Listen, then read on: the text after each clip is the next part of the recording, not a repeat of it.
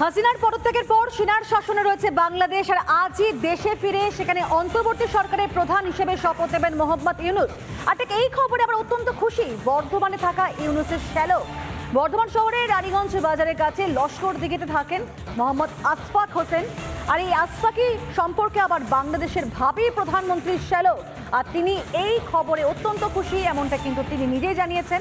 হাসিনার পদত্যাগের পর যেখানে সেনার শাসন রয়েছে এখন বাংলাদেশে, তবে অন্তর্বর্তী সরকারের প্রধান হিসাবে আবার শপথ নিতে পারেন মোহাম্মদ ইউনুস। ঠিক সেই খবর যখন প্রচার হয়, চাউর হয়, ঠিক সেই খবরটা আমি আসার পরই অত্যন্ত খুশি, আবার বর্ধমানে থাকা এই মোহাম্মদ ইউনুসের শ্যালক বর্ধমান শহরে ঠিক রানীগঞ্জ বাজারের কাছে লস্কর দিঘিতে সেখানে থাকেন এই মোহাম্মদ আসবাক হোসেন। আর তিনি যিনি সম্পর্কে আবার তার শ্যালক হন, তিনি খুব খুশি। তো কি জানিয়েছেন? এই ইউনুসের আত্মীয় মোহাম্মদ আসফাক হোসেন, শুনব আমরা। শুনে তো খুবই ভালো লাগল, খুবই ভালো উনি ওনাকে যে দায়িত্ব দেওয়া হচ্ছে, উনি ভগবানের আশীর্বাদে যেন দায়িত্বটা ঠিকমতো পূরণ করেন। এবং উভয় দেশের মধ্যে সম্পর্ক আমাদের ইন্ডিয়া এবং বাংলাদেশের সঙ্গে সম্পর্ক আরও মধুর থেকে মধুর হোক। আর আমি ওনাকে আর একটা রিকোয়েস্ট করব, জামাইবাবুকে, যে আপনি কাইন্ডলি ভিসার ভিসার যেটা প্রবলেমটা অন স্পট ভিসাটা ব্যস্ত করেন, যাতে সব লোকের সুবিধা হয়। অন্যান্য দেশে তো স্পটে ভিসা দেয়, তাহলে কি কষ্ট হয় না মানুষের। এতে মানে সাত দিন, দশ দিন, পনেরো দিন, কুড়ি দিন লাগিয়ে দেয়। তাই এটা থেকে যেন আমরা নিস্তার পাই। আর বিশেষ করে সিনিয়র সিটিজেনের জন্য একটু আরও লিবারাল হওয়া উচিত। আবার না গেলেও দিদি ফের বলে, আরে তুই এতদিন আসিস না কেন? আমি বললে বাবা, আমি ঘন ঘন চলে যাব। না না, ঘন ঘন আসা যাবে না, ভিসা পাওয়া যায় না। আমাদের আমারও তো মন কানে দিদিদের দেখা, দিদিকে দেখার জন্য। উত্তপ্ত বাংলাদেশ আর দিকে দিকে উত্তেজনা। হিংসার শিকার বহু মানুষ, প্রাণ যাচ্ছে। এই বুঝে বাড়িতে চড়া হলো দুষ্কৃতীরা। সব সময় একটা আতঙ্ক কাজ করছে। প্রাণ বাঁচাতে সেখানে কিন্তু আবার মানুষরা ভিড়ও জমাচ্ছেন সীমান্তে। দুষ্কৃতীর হামলা ভয়ে ভীত বাংলাদেশিরা। কোনোভাবে যদি ভারতে ঠাঁই পাওয়া যায়, সেই চেষ্টা করছে এখন পদ্মা পাড়ের বাসিন্দারা।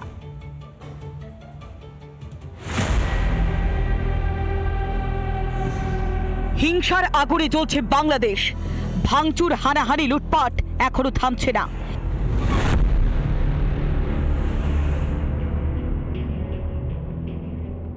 প্রাণ বাঁচাতে বাড়ি ঘর ছেড়ে ভারতে ঢোকার চেষ্টা বাংলাদেশিদের।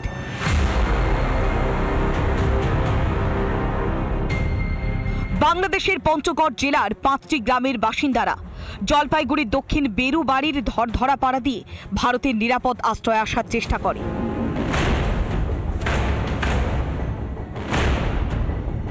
যদিও জিরো পয়েন্টে বিএসএফ তাদের আটকে দেয়।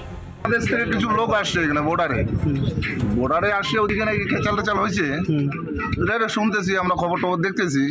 তো আইসে বর্ডারে আসছে তো আমাদের যে বর্ডার সিকিউরিটি ফোর্স আছে ওরা আটকায় দিছে। ওদের সঙ্গে কথাবার্তা চলতেছে। ওরা সাহায্য চাচ্ছে ওরা আসছে। যে আমরা কীভাবে থাকব সুরক্ষা একটা দেখ না হলে আমাদের কি করব? আমরা এখানে থাকব ওরা এই প্রতিশ্রুতি নিয়ে কিন্তু আসে। মানে অনেক দূরকার লোক আসে। এখানে কিন্তু এই বলা যাবে না যে সাধারণ বর্ডারের লোক নয়। এটা কিন্তু প্রায় চল্লিশ পঞ্চাশ কিলোমিটার দূরের লোক আসছে আর কি। বাংলাদেশ অনুপ্রবেশকারীদের সঙ্গে কথা বলেন বিএসএফ এর আধিকারিকরা। বিষয়টি ঊর্ধ্বতন কর্তৃপক্ষকে জানিয়েছেন কর্তব্যরত আধিকারিকরা। মঙ্গলবারের পর বুধবার একই রকম ছবি দেখা গেল। উত্তর দিনাজপুরের ভারত বাংলাদেশ সীমান্তবর্তী এলাকায়। বাংলাদেশের ঠাকুরগাঁওয়ের বেশ কিছু বাসিন্দারা ভারতে ঢোকার চেষ্টা করছেন। এভাবেই বিস্তীর্ণ এলাকা হেঁটে, তারপর সাঁতরে নদী পেরিয়ে ভারতে আসার চেষ্টা করছেন বাংলাদেশিরা। জলপাইগুড়ি থেকে সুবীরেশ, রিপাবলিক বাংলা। আর এই মুহূর্তে আরেকটি ব্রেকিং নিউজ আপনাদের সামনে। দীর্ঘদিন বন্ধ থাকার পর অবশেষে খুলতে যাচ্ছে চট্টগ্রাম বিশ্ববিদ্যালয় পঠন পাঠন। সেখানে শুরু হতে চলেছে চট্টগ্রাম বিশ্ববিদ্যালয় খুলতে শুরু করেছে এবং একই সঙ্গে সেখানকার যে পঠন পাঠন দীর্ঘদিন ধরে বন্ধ ছিল, সেটাও কিন্তু এবার শুরু হতে চলেছে। উনিশে অগস্ট থেকে শুরু হচ্ছে চট্টগ্রাম বিশ্ববিদ্যালয়ের ক্লাস বিশ্ববিদ্যালয়ে হস্টেল খুলবে আঠেরো তারিখ।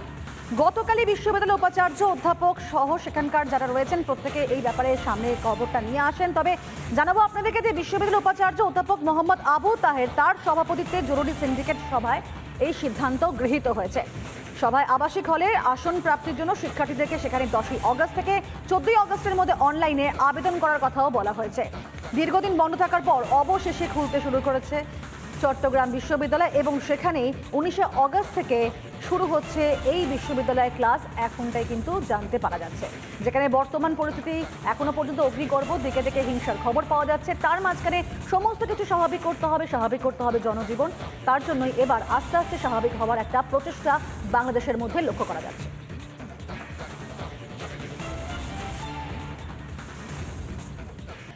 সত্যি তো, কবে শান্তি ফিরবে দেশে? এই প্রশ্ন কিন্তু এই মুহূর্তে একেবারে জলজল করছে, যেখানে সেনা শাসনও চলছে বাংলাদেশ আর বুকে একরাশ আতঙ্ক নিয়ে ভারত থেকে বাংলাদেশে ফিরছেন অনেকে। কিন্তু বাংলাদেশ পৌঁছলে বাড়ি পর্যন্ত পৌঁছতে পারবেন তো? কেমন আছেন? ওপারে থাকা আত্মীয়রা?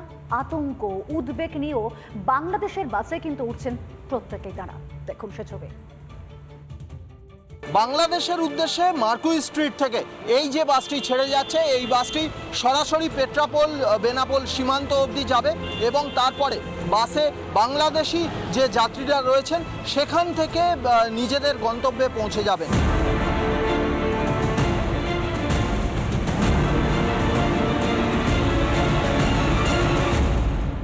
কলকাতায় আটকে থাকা বাংলাদেশিদের মধ্যে দেশে ফেরার হিড়িক। শুরু হয়েছে কলকাতা বাংলাদেশ বাস পরিষেবা।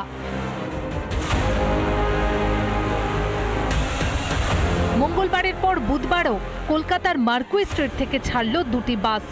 বাংলাদেশি যাত্রীদের নিয়ে রীতিমতো পুলিশের নিরাপত্তায় রওনা হলো বাস। শান্তি আছে, কোনো অশান্তি নাই। যে একটু একটু আছে মিটে যাবে অল্প টাইমের ভিতরে সমস্যা হবে না। বাংলাদেশ স্বাভাবিক হয়ে গেছে আর কি। এখন আর কোনো আগের মতো কিছুই নাই সব স্বাভাবিক হয়ে গেছে আর্মির হাতে চলে গেছে সব নিউট্রালে চলে আসছে। বাংলাদেশ থেকে কেউ কেউ এসেছিলেন কাজে কেউ বা এসেছিলেন চিকিৎসার জন্য। কিন্তু গত কয়েকদিনে বাংলাদেশের পরিস্থিতি একেবারে পাল্টে গিয়েছে। কিন্তু এখন পরিজনদের কথা ভেবে দ্রুত দেশে ফিরতে চাইছেন ভারতে আসা বাংলাদেশি নাগরিকরা। এখনও পর্যন্ত কোথাও কোথাও বাংলাদেশ থেকে অশান্তি হিংসার খবর আসছে। তবে এদেশে ভারতে এসে বা কলকাতায় এসে কোনো ধরনের অশান্তি কোনো ধরনের অসংলগ্ন পরিস্থিতির মধ্যে পড়তে হয়নি সাফ জানাচ্ছেন বাংলাদেশিরা। অবশেষে ওপারে ফিরছেন বাংলাদেশিরা।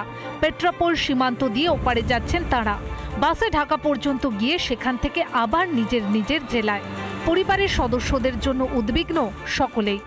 এখন এখান থেকে ওপার গিয়ে দেখি তারপরে তো মানে ভালো মতো ওপার যেতে পারলেই আনন্দ। কিন্তু হওয়ার কথা ছিল না কিন্তু পরিস্থিতিটা ঘোলাটে হয়ে গেল। হয়তো অবশ্যই কম বেশি থাকবে। সবকিছু ঠিক হয়ে যাবে। সংশয়, আতঙ্ক নিয়ে দেশে ফিরছেন ভারতে থাকা বাংলাদেশিরা। বাংলাদেশের উত্তপ্ত পরিস্থিতির কথা মাথায় রেখে কড়া নিরাপত্তায় মোড়া হয়েছে পেট্রাপোল সীমান্ত। বাংলাদেশ থেকে এদেশে ফিরছে, বাংলাদেশে আটকে পড়া ট্রাকও। বাংলাদেশের এই পরিস্থিতি নিয়ে তারা উদ্বেগ প্রকাশ করছেন, তারা বলছেন, পরিবার পরিজন কেমন রয়েছে তা সেখানে গেলেই বোঝা যাবে। সব মিলিয়ে এই ছবি উঠে আসছে পেট্রাপোল সীমান্ত থেকে। ভিডিও জার্নালিস্ট দীপঙ্কর কাঞ্জিলালের সঙ্গে ইন্দ্রিলা ঘোষ রিপোর্ট, রিপাবলিক বাংলা, পেট্রাপোল। দেখলেন তো, কি ভয়ানক পরিস্থিতি সারা বাংলাদেশ জুড়ে। আর ঠিক এই জায়গা থেকে আপনাদেরকে আরও একটা খবর দিতে চাইব, যেখানে বাংলাদেশের হিংসার আজ এবার পড়ল সেই দেশের অর্থনীতিতেও। প্রত্যেকটা দিনই পড়ছে টাকার দাম, প্রত্যেকটা দিনই পড়ছে টাকায় বাংলাদেশের দাম, এবং ঠিক এই পরিস্থিতিতে আদৌ কি ঘুরে দাঁড়াতে পারবে? এই পড়শি দেশ পড়ছে প্রশ্ন।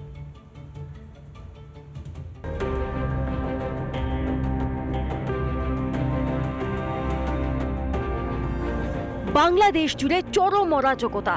হিংসার আগুনে জ্বলছে পদ্মাপাড়ের দেশ। যার প্রভাব সরাসরি পড়েছে সে দেশের অর্থনীতিতে। প্রধানমন্ত্রীর পদ থেকে ইস্তফা দিয়ে শেখ হাসিনা দেশ ছাড়তেই হু হু করে কমছে বাংলাদেশি টাকার দাম। বুধবার বাংলাদেশের একশো টাকার বিনিময় পেট্রাপোল বন্দরে মিলছে ভারতীয় মুদ্রায় আটষট্টি থেকে উনসত্তর টাকা। কাউন্টারগুলো, দেখো, সকাল থেকে আমরা দেখিয়েছিলাম যে বিভিন্ন যে ছোট ছোট ঘরগুলো রয়েছে, কাউন্টার রয়েছে, প্রত্যেকটি ঘরই প্রায় বন্ধ। দু একটি কাউন্টার যারাও বা খুলেছেন, তাদের পরিস্থিতি দেখো, পুরোপুরিভাবে একেবারে শূন্য। প্রত্যেকে দেখো, বসে রয়েছে। ধাক্কা খাচ্ছে ওপারের অর্থনীতি, যার আঁচ পড়ছে এপারের কয়েকটা মুদ্রা বিনিময় অফিসে। লোকজনের আনাগোনা অত্যন্ত কম, যেন মাছি তাড়াচ্ছেন কর্মীরা। এখানে যারা মানি এক্সচেঞ্জ আমরা আছি আমার যে স্টাফ আছে তাদের ডেলি ডেলি আয়ের ওপরে তাদের বেতন দেওয়া হয়। কোনো মান্থলি সিস্টেমে তাদের বেতন দেওয়া হয় না।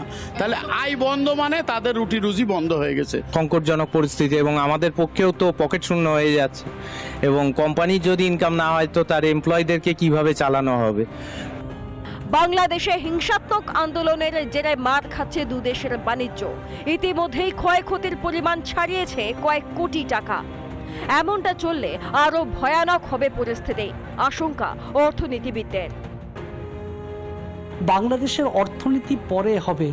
গত পাঁচ দিন ধরে আমরা টেলিভিশনে যা দেখেছি বা খবরের কাগজে যেটা পড়ছি সেই রাষ্ট্রের সাথে ব্যবসা করার ব্যাপারেই তো লোকে চিন্তিত হয়ে পড়বে করবে কিনা।